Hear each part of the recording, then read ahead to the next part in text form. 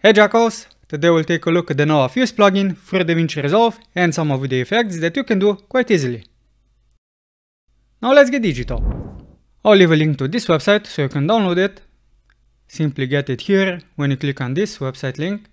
This website will open up and you have to go a little bit down, click on the download button and when you do, this website opens up. You can put in any number that you want, so if you want it for free, put in 0, click I want this, you'll have to put in your name and email. I'm not affiliated with LearnNow Effects, I'm just showing you what I've used to make the background in my previous videos. Then once you get the email, simply click on the link, you'll get something like this. Click on the download, and when you do, open up DaVinci Resolve. Then what we'll want to do is add a new fusion composition, right click, make a new fusion composition, I already have it, so I'll just put it onto the timeline, and go into the fusion page. Now in the Fusion page, you'll want to take the Nova installer that you have and simply put it in. And it says installing. I already had it installed, so I hope this doesn't mess up my installation. Now when you do the installation, simply close DaVinci Resolve and open it up again, go into the Fusion page. In my case this is Control Space, select Tools, type in Nova and you will have the Nova plugin. You can simply connect it to the media out and this is how it looks like. I have a video on the Nova plugin and all of the settings, so this time I'll just focus on the effects that I've made. So let's go with the simplest one. You have all of the effects at the effects. So the first one that I'll use is zoom. It's under open effects and it's zoom blur. Now with this effect I went with the idea of entering and exiting the hyperspace. So let's connect it we have something that looks like a space. So first what we want to do is get rid of the line thickness so we don't see any lines. We could leave it like that. Let's see. So we don't want any auto evolution. No changes yet. So I'll change the zoom to 0.02 so we'll have some movement and we need to enable the auto zoom. So now we have a feeling that we're traveling forwards. That's good. So now I have to make the jump and then we'll exit the jump. So to do that, I'll go to frame 10. So I'll keyframe the zoom speed. Let's put this back to 0.02. And then we'll also adjust the zoom blur. Now first adjust the center exclusion. This kind of makes it feel like we're traveling but slowly because we have some stars going fast as faster, but these ones are stationary. So maybe 0.6 will be the starting value. Something like that. Keyframe this. And then the jump will end, let's say, how fast? 12 frames. This is half a second in my case. So we need to jump in, just like that. Goes back down to zero and we also need to speed up and let's see what about this option? So we also want to increase this. So 0.8 will be the maximum value and the starting value will be 0.4 so that's okay. But now let's take a look at the zoom speed. So maybe we want to go from 0.2 to maybe 0.5 so let's see what we have. Noise. We could go to the spline and adjust all of the key points that we've added. Maybe smooth them out and then just play around with the settings. Because the engine can jump immediately, we'll have a bit of a spin up. So I'll go for this kind of curve and I'll try to do the same for the zoom. Zoom, zoom.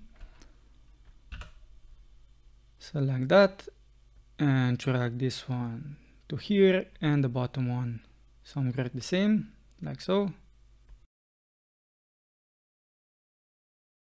cool. Now let's jump out. So we can go to the keyframes. Select the node that we want. I'll first copy these values. Copy value copy points paste points paste points with values and select this one.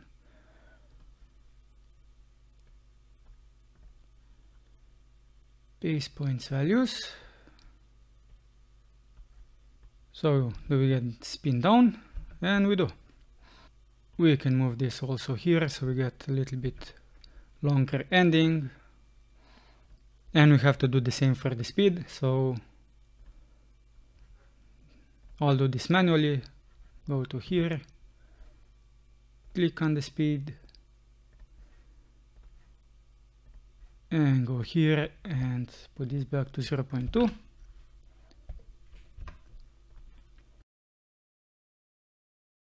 So this is one effect. Now I'll make a second effect. Use a Nova node. This time I'll use radial blur. Connect it. This time I'll go with a low speed of 0.01. No evolution and no line thickness, just like that. And what we can also adjust is under the glow, the bloom. Maybe something like 0.6, but we can adjust this later Woo! So spinny. No evolution. So auto evolve is off. I'll just use the blurs inside the open effects. So I'll use directional blur. So we have something like that.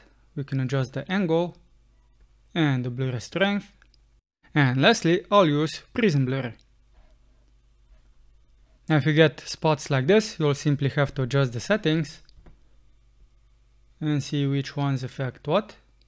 In this case the issue is the prism blur, so we have to play around with the settings. So maybe something like this. Now if you don't want the black background, you can go to the Nova Fuse, go to the color and disable the background. And you can also have automatic color animation, so that it changes color over time. It's a little bit too fast for my taste, so what we could do is maybe add a time speed node and slow this down. So maybe 0.2. Maybe this is a little bit better, but now the effect is not that visible because I've used the time speed node. So I'll disconnect it. And as you can see, this changes the color now. Instead of the time speed node, to maybe get rid of all of the flickering, we could use, let's say, mosaic blur this one's kind of useful. Maybe. Let's say pixel frequency, anti-aliasing.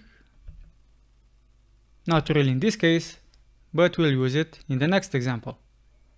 So in this example, we'll again use the Nova plugin. We'll use the mosaic blur and we'll be using lens blur. I'll disable it for now. And just go with setting up the Nova Fuse. So I'll also go with auto zoom, 0.01 speed, disable auto evolve, and we don't want any lines. In the mosaic blur, we'll set the max frequency to maximum and the aliasing to minimum.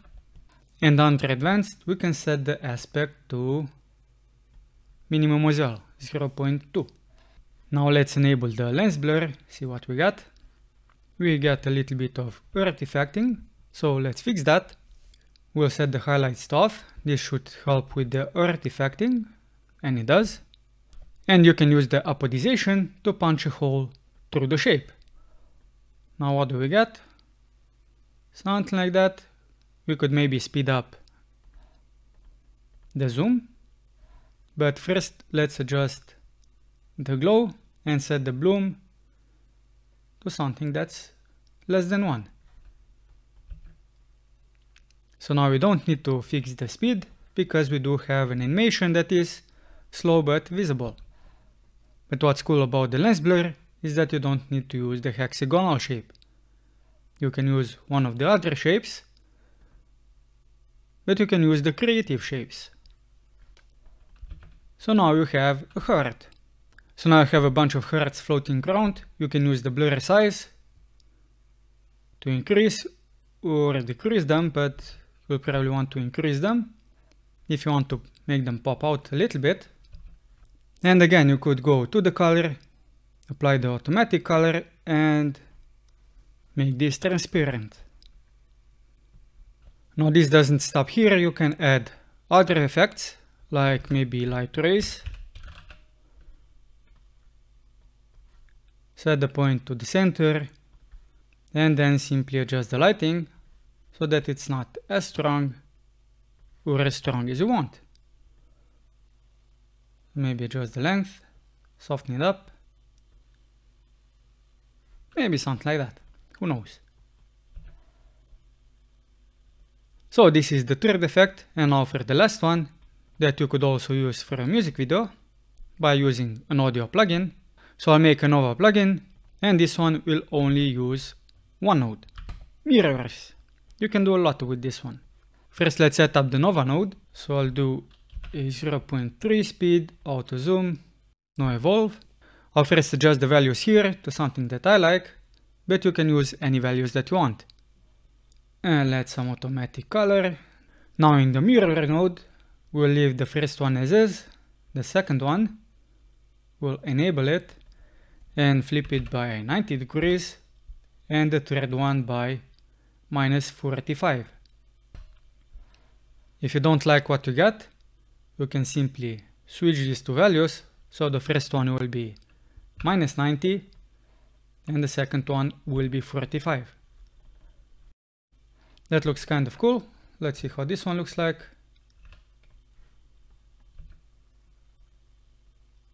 If you want to have the center a little bit more punchier, you can go back to the Nova plugin and adjust the front and back, fade. So maybe this is what I got. If you don't want to use this for a music video that would be used as a background, what you could do is use the bright and close lines and apply that to the audio volume that you use for the music. So let's say that I want to do that.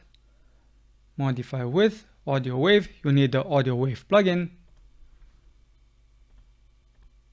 Let's see, do I have a file that's on hand quickly? This one maybe. Just like that, quick and easy. I won't be making any changes. Let's see if it works. It does. If I go back to the tools, you'll see that this value keeps changing up and down, up and down. So if you want to have like a techno beat or something like that, you can simply use this. And that concludes this video on the Nova plugin as a background generator in DaVinci Resolve 17. If you found this video helpful, give it a thumbs up. Subscribe to my channel if you want to see more DaVinci Resolve and video editing content, and hit the bell notification icon so you know when my next video comes out. I'm Simon, and until next time jackals, keep it digital.